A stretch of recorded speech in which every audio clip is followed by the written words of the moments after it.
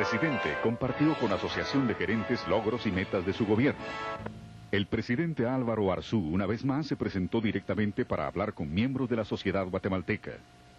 Y esta vez compartió con la Asociación de Gerentes de Guatemala. ¿Qué se ha hecho y hacia dónde va el país tras dos años de su administración? El mandatario tuvo oportunidad de hablar sobre los planes y proyectos de su gobierno. Felicito a la organización por este tipo de actividades tan útiles que le permiten a sus agremiados y al público en general conocer de primera mano la información que es indispensable para adoptar todo tipo de decisiones. Es muy frecuente escuchar que la inversión para producirse reclama reglas claras y estables y creo que eso es una gran verdad. No es suficiente solamente con que el gobierno emita tales o cuales disposiciones. Se necesita, en primer lugar, que se trate de un gobierno honrado, que el aparato de Estado no esté infiltrado por delincuentes, como lo estaba en el pasado. Por eso, desde el primer día, iniciamos acciones de depuración muy importantes y mantenemos una estricta vigilancia sobre eso.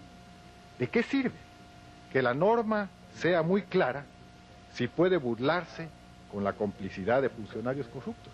Ya no se puede solo pedir paciencia, ya no se puede solo pedir que la gente se apriete el cinturón, ya no es suficiente solamente con la expectativa de un futuro mejor.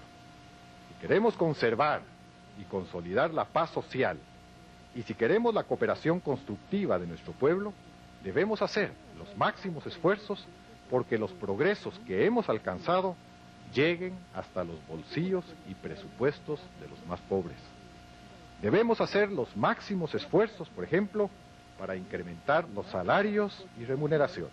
La Asociación de Gerentes está conformada por gerentes de todos los sectores del país, entre los que hay de pequeñas, medianas y grandes empresas, y quienes hicieron algunas preguntas, entre ellas la relativa a la decisión de asignarle al ministro de Comunicaciones 600 millones sin necesidad de licitación, pero con todos los controles de ley para realizar los trabajos de infraestructura en carreteras y caminos. Porque se ha hablado mucho y se ha especulado mucho sobre este tema. En primer lugar, quiero decirle que esto no está a la libre decisión del ministro de Comunicaciones.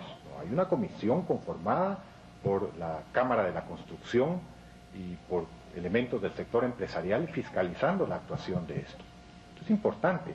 Yo invitaría incluso que se conformara una comisión con los propietarios de los principales medios informativos y quizás fuera la Asociación de Gerentes la que nos hiciera el favor de presidir esa comisión y que se involucre directamente en el Ministerio de Comunicaciones y vea personalmente cómo se van a aplicar esos 600 millones de quetzales. El año pasado fueron 400 millones de quetzales y ahora son 600 millones de quetzales. Y que abran todas las gavetas del Ministerio de Comunicaciones y levanten todas las piedras que puedan. Que se integrara una comisión presidida por por el presidente de la Asociación de Gerentes y que por favor se sumerjan en el Ministerio de Comunicaciones, abran todas las gavetas y levanten todas las piedras para ver cómo se van a aplicar esos recursos. Pero son necesarios aplicarlos con agilidad. Y en materia de seguridad vamos a tener que hacer otro tanto. Hay 50 millones de quetzales de compra de equipos, radios de comunicación, eh, bueno, hasta pistolas, en fin, todo lo que se necesita, pero se necesita ya, se necesita ahora. Si nosotros entramos a esos procesos engorroso de, licitaciones públicas para cuestiones emergentes, como es el mantenimiento de la red vial, nos va a entrar el invierno antes de que podamos empezar a, darles ese mantenimiento y, la transformación que requieren para incentivar esa producción. Pero yo quisiera, yo quisiera por favor que se amplíen las acciones privadas de fiscalización y, que, verdaderamente lleguen a, a los ministerios a enterarse cómo lo estamos haciendo y en qué forma se están manejando los recursos.